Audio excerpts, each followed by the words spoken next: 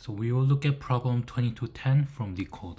Here is the problem statement. Pause this video for a second. Try to come up with your own solution. Um, even though this problem is labeled easy, if you look at the accepted and submission ratio, is I would say about like more than half, slightly over half of the people got it right. So yeah, don't do not get discouraged even if you cannot solve this quote easy problem on your first try. So I have two approaches solving this problem. One approach is, well, let's do the first approach. The first approach is we create another array called modify underscore array. And this array will not have any duplicate numbers. We run a, a linear scan on our given array. So there will be nums array, this one. And notice that here we have three heels and belly combined, right?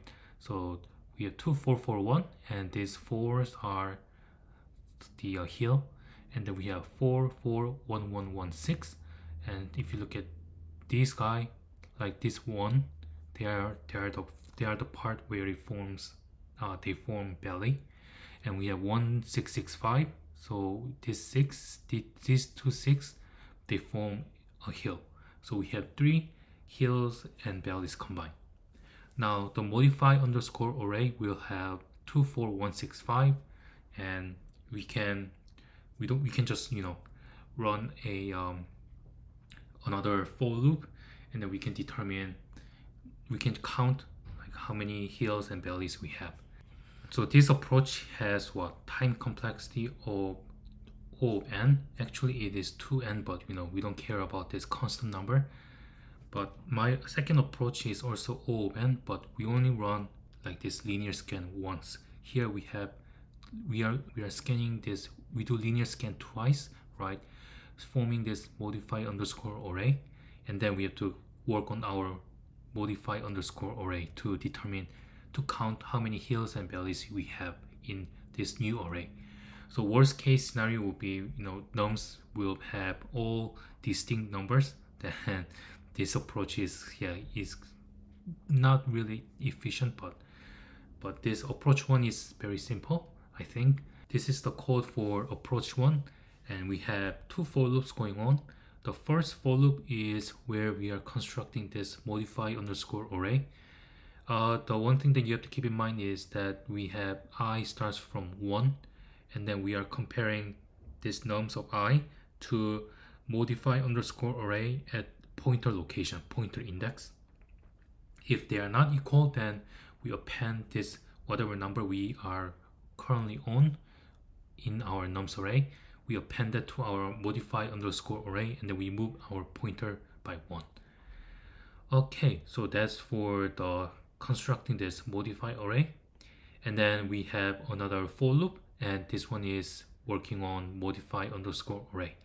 Basically, we just check if we found a hill or not. So the first case is basically this one is do we have a heel? If so, then we increment our count variable by one. Else if we have uh, we have this, so this is essentially determining whether we have a belly. If so, then we increment our count variable by one. And then we return count variable. So that is approach one. We will be using pointer. So pointer on this array is not that difficult, but um, I will have another problem on a, a linked list where we are manipulating like bunch of pointers and that in that case you can see the full power of using manipulating pointers. I think that problem is like reversing say like k groups of linked list. And the first approach i did it is like you can use the merge sort but merge sort is n log n. But then using the pointer we have o of n. So pointer i think yeah is something that should be in your toolkit whenever you are working on this kind of problems. So approach two, we have pointer and then basically, so um, let me see, let me see what I wrote here. So let's look at this example, two, three, three, three, four, and then some numbers uh, that follow after four. And our pointer also points at index one, so that's gonna be this one, three. And we will move our pointer, which is currently at this index, so this is one, to here, 4 okay not 5 but 4 why is that we will create two more variables and then we will call them left number, right number. In this case, our pointer will be at here and then our left number will be not 3, not this guy, not this guy, but this guy. That's gonna be our left underscore number. Our right underscore number will be this guy. So you can see that our left number is this, our pointer is pointing at this one, and then our right number is pointing at this one. So we then we can compare those three numbers to determine if we have a hill or a belly. So here I have two more variables here. Left number is pointing here, right number is pointing here. Our pointer was initially pointing this index 1, but then we use a uh, inner while loop to move our pointer to here. So here is the code for this approach 2. Uh, let me see what I wrote here. So we have a two while loops and then this inner while loop is where we are moving our pointer to the last index of the of those duplicate numbers so if I look at say this guy we have how many threes do we have we have four so our pointer will be moved from here to here so that's what's going on here this while loop.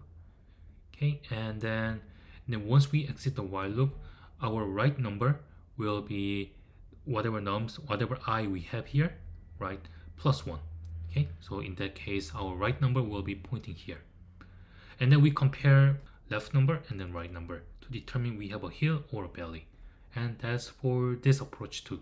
So let's look at the code and see what we get for this problem okay so here is the code. Here are two codes for this problem. The first one is the that um, approach one where we have two two for loops and then we basically create a modify underscore array. So let me run this. So yeah that one was I think so so this is so when I first tried this um, actually the second approach you know where we had one linear scan was slower than this guy and yeah so let me so that was the first approach and let me um, try the second approach. So we had this and okay let me uncomment this and run this. Yeah so the speed isn't that noticeable but um, in theory this one should be a, a bit faster than the first approach. So that is for this video and if my video helps you guys understanding this problem please give me thumbs up and I will see you guys next time. Bye bye